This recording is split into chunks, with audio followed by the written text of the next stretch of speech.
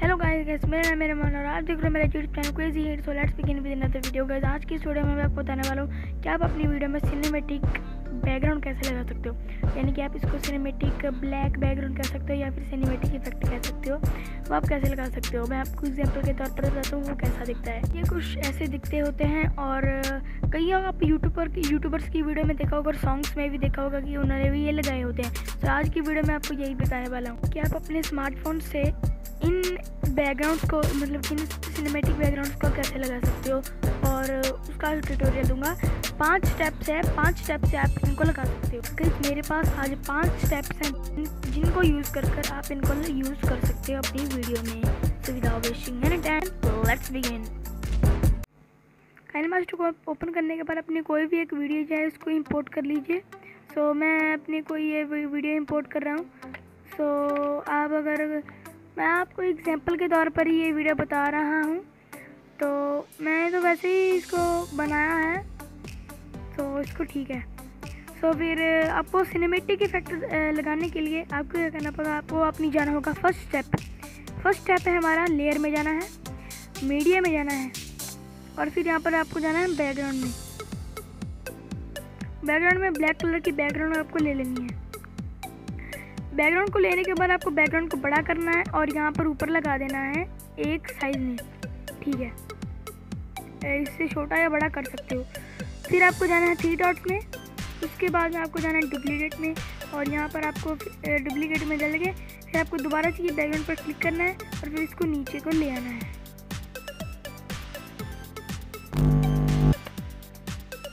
आपका सक्सेसफुली ये पहला स्टेप डन हो चुका है। ये डन हो चुका है। पर आपका पहला स्टेप कंप्लीट हो चुका है। अब दूसरा स्टेप अब आपको क्या करना है? आपको जाना है लेयर में और यहाँ पर जाना हैंड राइटिंग में। और यहाँ पर आपको क्या करना है? हैंड राइटिंग पर क्लिक करना है और यहाँ पर आपको जाना है इस क्यूब में। क्यूब में जाने के बाद इसको फिर जो ये वाले क्यूब को सेलेक्ट करना है और कलर्स में जाकर आपको ब्लैक कलर का ब्लैक कलर सेलेक्ट कर लेना है। और फिर टिक पर क्लिक कर देना नहीं है आपको। आपको करना क्या है? एक बड़ा सा रेक्टेंगल ऐसे बना देना है, बड़ा सा। उसको बनाने के बाद इसको थोड़ा बड़ा कर देना है और इसको ऊपर ऐसे लगा देना है।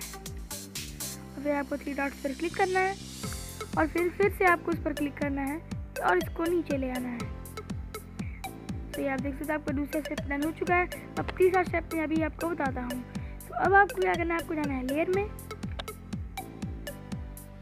और टेक्स्ट में जाना है। और इसके बाद आपको जाना है अपने एस वाई एम में और यहाँ पर आपको जाना है वन वन ओवर टू और इसके बाद आपको जाना है ये क्यूब में, ये वाला क्यूब तो इसके बाद इसको हम बड़ा करेंगे और यहाँ पर जाएँगे नीचे। को यहाँ पे इसकी शेडो को कर देना है ऑफ़ और अब जाना है अपने कलर्स में और इसको, इसका ब्लैक कलर आपको ऑन कर देना है। और इसको बड़ा करना है। बहुत ज़्यादा बड़ा कर देना है इसको और फिर इसको ऊपर लगा देना है। फिर इस पर दोबारा से क्लिक करना है और यहाँ पर आपको थ्री डॉट्स पर क्लिक करना है और फिर आपको दोबारा से यहाँ पर डुप्लीकेट पर क्लिक कर देना है और इस पर दोबारा क्लिक कर कर आपको इसको नीचे को ले आना है।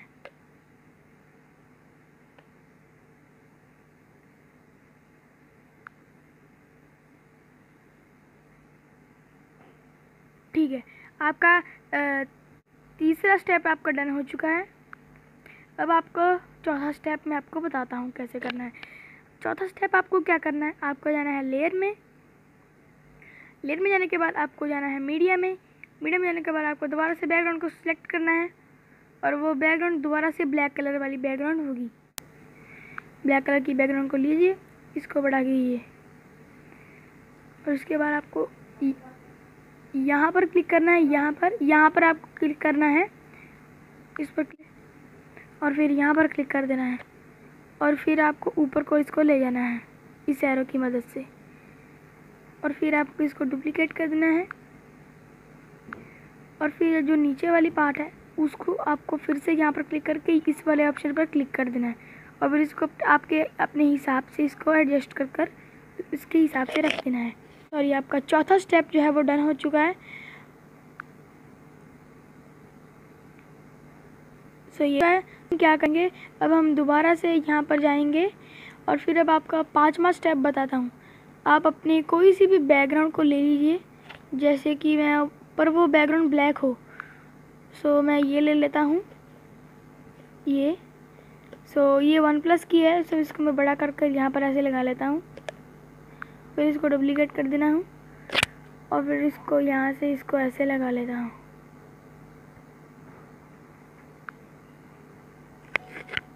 तो ये लग चुका है। तो एक बंदे ने मुझे जीमेल से जीमेल कर कर पूछा था कि तुम कि सिनेमेटिक इफ़ेक्ट कैसे लगाते हो, जो कि सिनेमेटिक इफ़ेक्ट होता है फिल्टर्स में थे वो कैसे लगाते हो। तो आपको अगर आप, आपकी वीडियो पर क्लिक करना है फिर यहाँ पर कलर फ़िल्टर के ऑप्शन पर क्लिक कर देना है, और यहाँ पर ये वाला ये वाला होता है फ़िल्टर वो सिनेमेटिक इफ़ेक्ट वाला। जिसमें आपको सिनेमेटिक इफ़ेक्ट भी लगा कर मैं दिखा देता हूँ। सो ये ब्लैक कलर वाला ही मैं लगाऊँगा अभी। सो मैं सिंपल सा तरीका फटाफट से लगा लेता हूँ। सो ये बहुत ही आसान है आप फटाफट से भी कर सकते हो।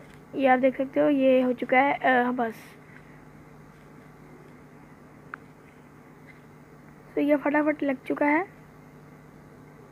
तो ऐसा नहीं है कि आपको बड़ा बड़ा कर देना है आप आप, आप अपनी वीडियो के हिसाब से लगाना है आपको। तो ये ये वाला ठीक है। हाँ बस।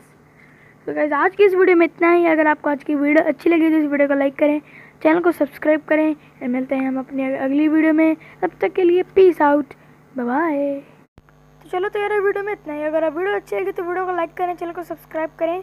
और मैं एक इंपॉर्टेंट नोटिस आपको बता देता हूँ कि मैंने मेरे चैनल का लोगो जो है उसको चेंज कर दिया है। मैंने मैंने अपने पुराने वाले लोगों से ये वाला लोगो कर दिया है। तो ये आपको लोगों को कैसा लगा मेरे चैनल का मुझे ज़रूर कमेंट्स में बताना। और वीडियो कैसे लगी ये भी बताना, पाँच स्टेप हैं सिनेमेटिक बैकग्राउंड और सिनेमेटिक इफ़ेक्ट कैसे लगाना है, वो सब कुछ मैंने आपको इस वीडियो में बताया। तो वीडियो कैसे लगी मुझे ज़रूर कमेंट्स में बताना। एंड मिलते हैं हम अगली वीडियो में, तब तक के लिए पीस आउट और video so peace out bye bye